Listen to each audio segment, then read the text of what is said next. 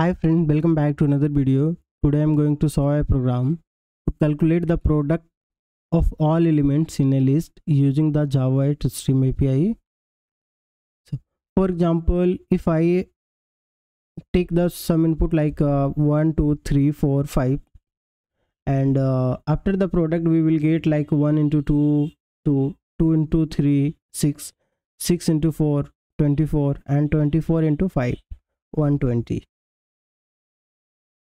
so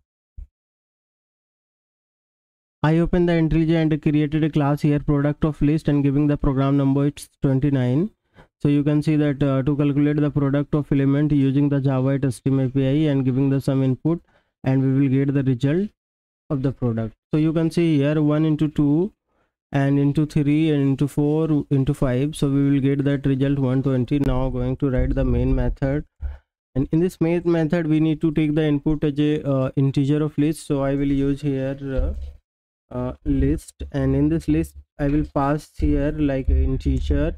And i will use here numbers.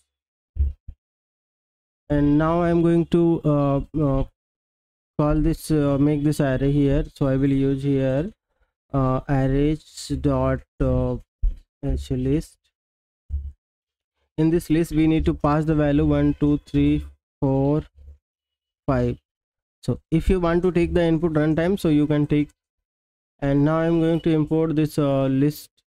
And uh, now you can see that i imported both that.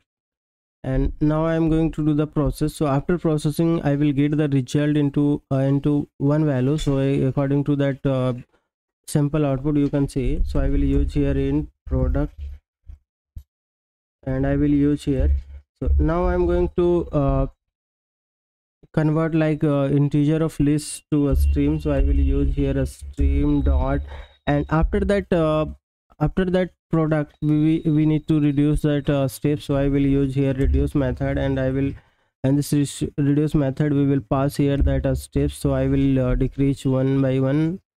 And uh, now we need to do that uh, product so i will use here uh, lambda expression a first for the first value we say the second value. And now i am going to do here process a into b. And uh, my program is completed. Now i am going to print this result. So i will use here system dot out dot println and i will print here a product.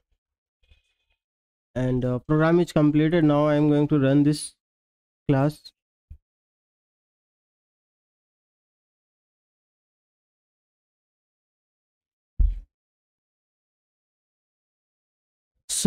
so friend i uh, i got the result only 120 but according to the sample output you can see the some message so i will i will write here uh, plus and uh, then double quote and i will use here product space. And now i'm going to rerun this class.